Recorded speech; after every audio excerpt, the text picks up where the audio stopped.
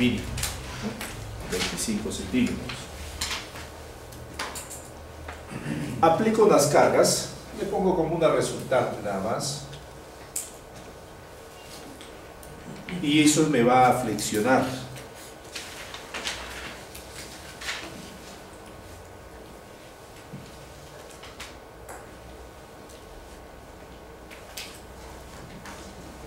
Me va a flexionar.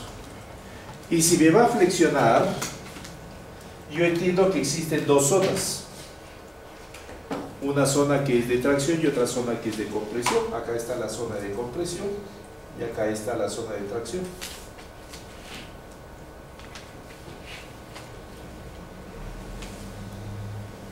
Como sé que el concreto trabaja mal en tracción, entonces ahí donde voy a reforzar con el acero de diseño. Y en el otro lado sería el acero mínimo. Voy a colocar. Tracción, compresión.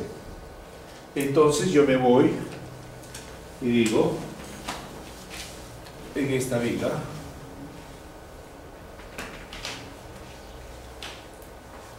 existe un denominado eje neutro o eje donde el esfuerzo es cero, que me va a dividir la zona de compresión, en este caso, de la zona de tracción. Yo tengo mis esfuerzos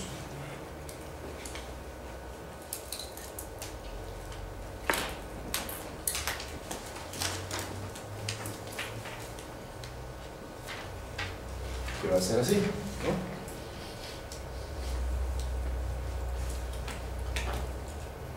Esfuerzo máximo en compresión que voy a tener. Y para el caso del acero, este es mi eje neutro, su trabajo equivalente lo hago así.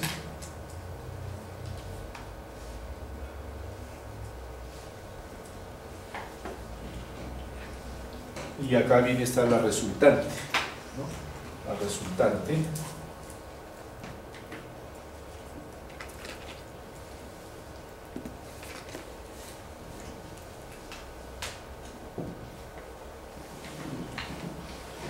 determino mi cuantía de acero y todo lo demás pero ¿qué es lo que voy a obtener con estos esfuerzos? si me sale un agrietamiento un agrietamiento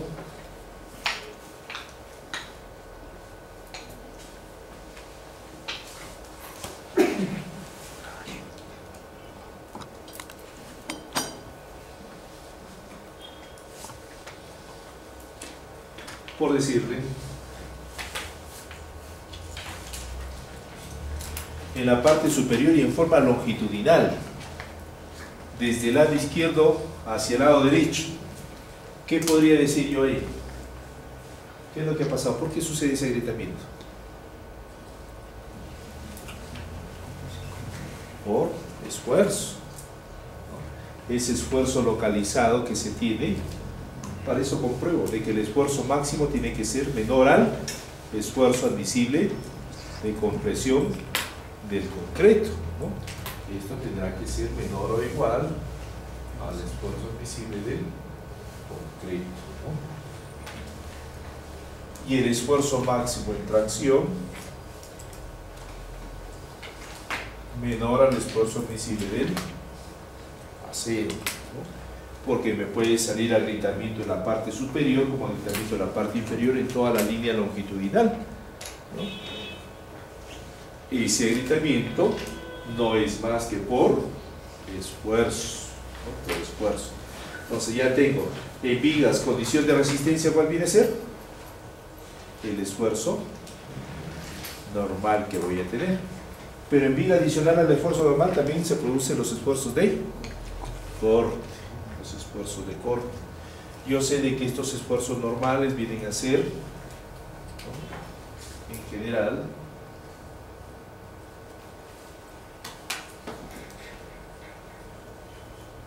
el momento sobre la inercia, distancia del eje neutro, menor a ese esfuerzo admisible, ¿no? Toma general.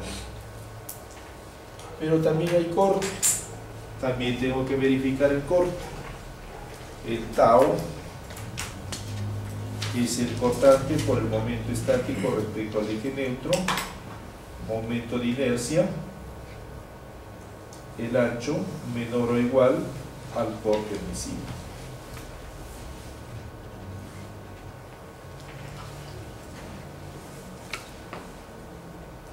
Al corte admisible. Verifico que se tenga que cumplir. Verifico que se tenga que cumplir. Ya tengo mis esfuerzos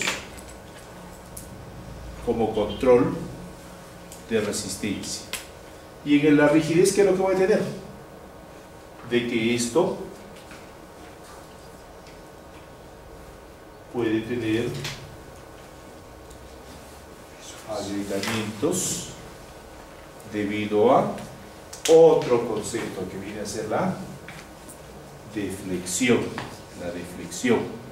Entonces tendría también que verificar la otra condición que viene a ser la de rigidez, la de rigidez.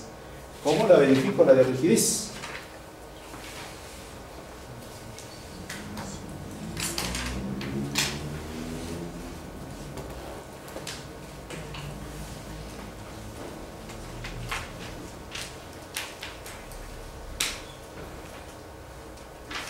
De rigidez. Yo sé que en el caso de vigas, debo de controlar si es de concreto armado.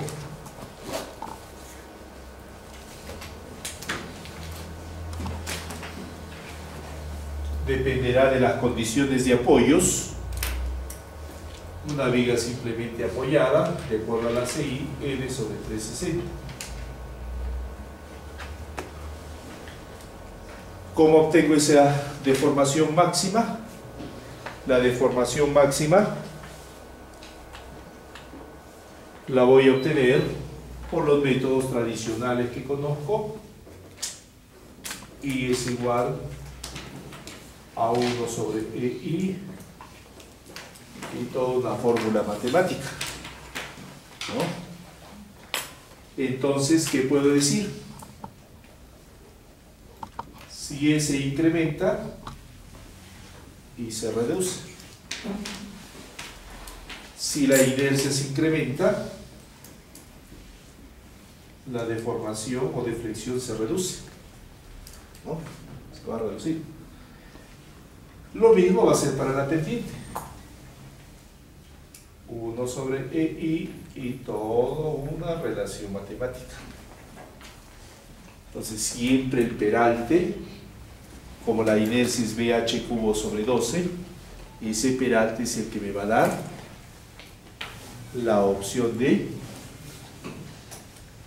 incrementar la inercia, reducir la deformación, ¿no? reducir la deformación y evitar esos agrietamientos, controlándolo con los aspectos normativos. ¿no? Entonces, voy a tener I y voy a tener teta. ¿Teta para cuál? ¿Qué caso? Para el acero. Para el acero, teta máximo menor a un grado.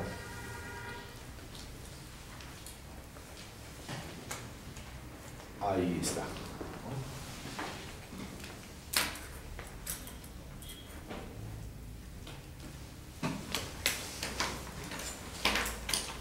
Dentro de los elementos horizontales también tenemos las losas, las losas.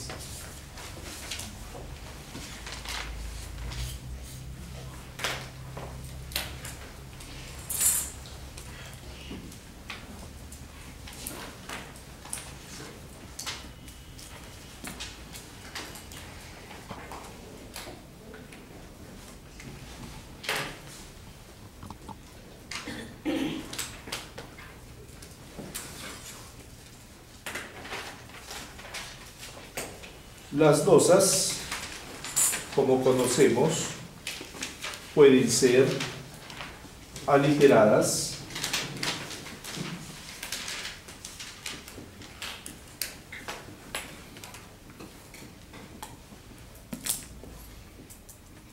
macizas, nervadas, y ahora para centros comerciales se utiliza la losa colaborar.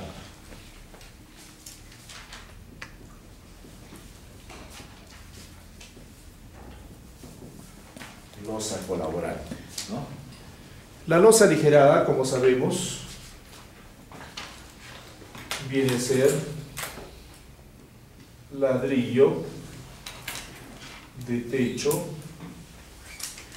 o bloque de tecnopor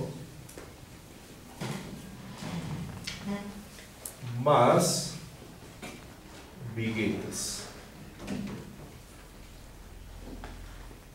La maciza viene a ser acero más concreto.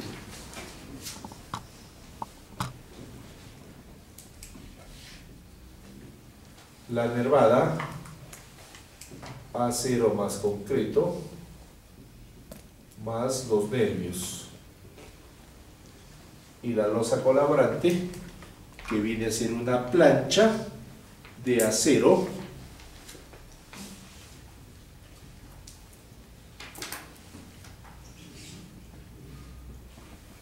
más concreto vaciado en la plancha. Sus comportamientos son distintos. Iniciamos con la ligerada.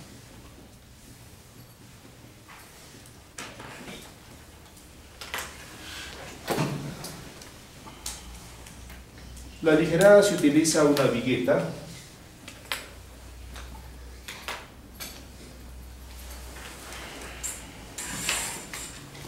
de 10 centímetros en obra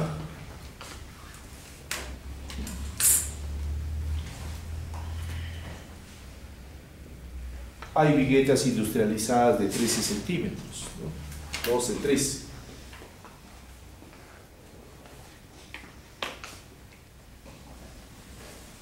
La dirección de la vigueta debe ser en el sentido más corto.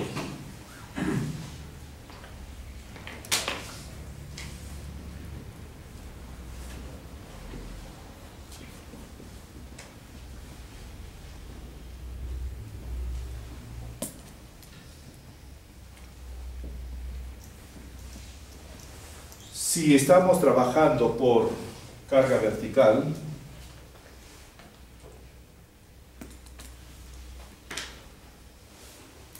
se comporta como flexible.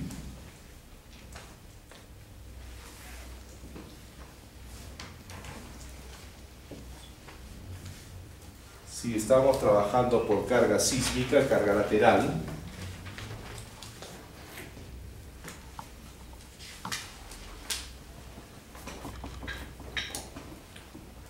como diafragma rígido.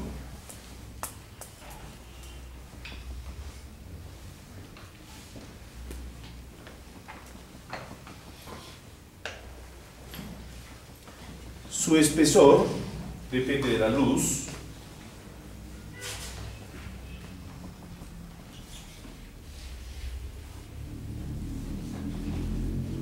Pero un aproximado. El espesor es la longitud nominal o la longitud de la luz sobre 25. Sobre 25 un aproximado que tenemos, si la luz es de 4 metros, 17, 5 metros de 20, 6 metros de 25, 7 metros de 30.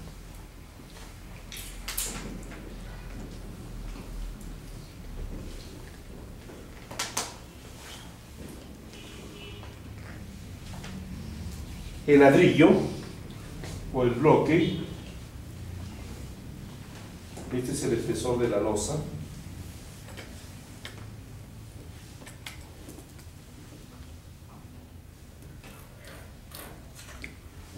se considera 5 centímetros menos, es decir, de 12, 15, 20 y 25.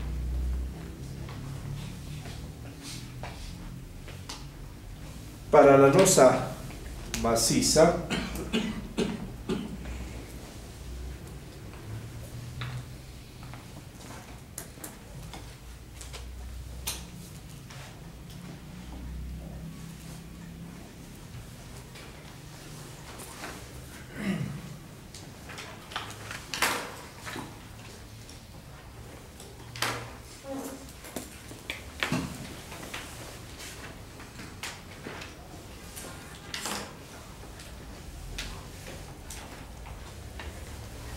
y la losa nervada.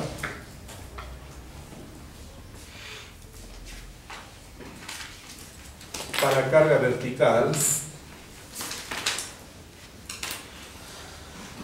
se comporta como rígido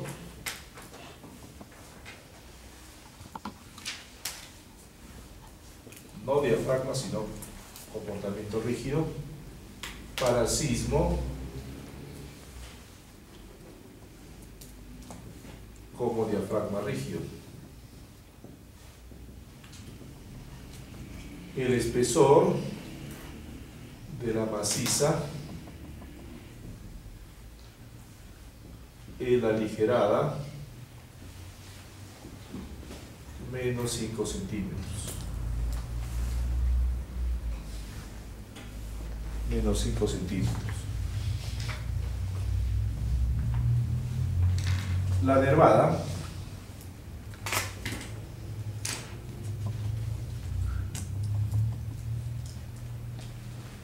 lo mismo que la maciza.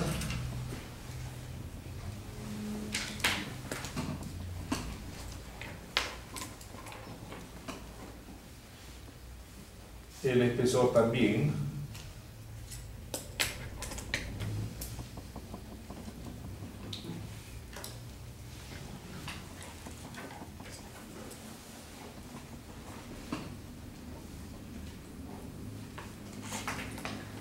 Los nervios, para ello se utilizan moldes recuperables.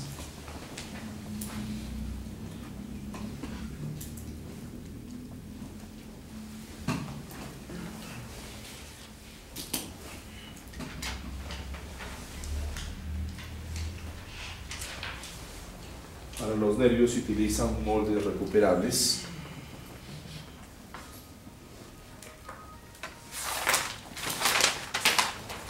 La colaborante, esta ya no se comporta como un diafragma rígido.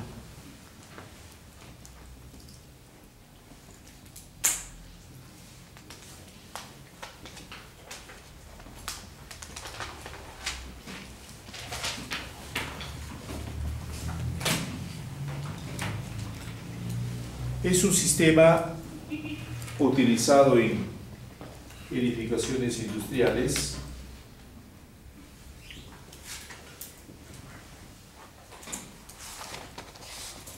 centros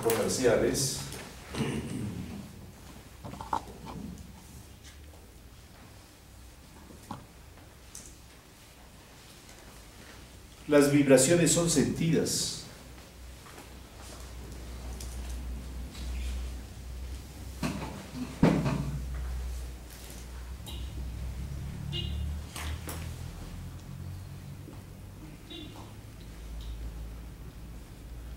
Tiene como gran ventaja que cubre una gran luz, como la maciza comparado con la ligerada.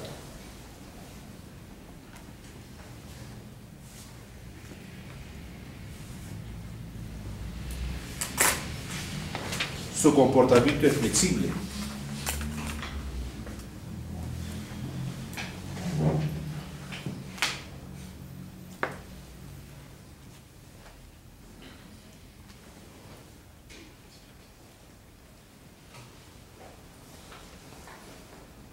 Por sismo también es flexible.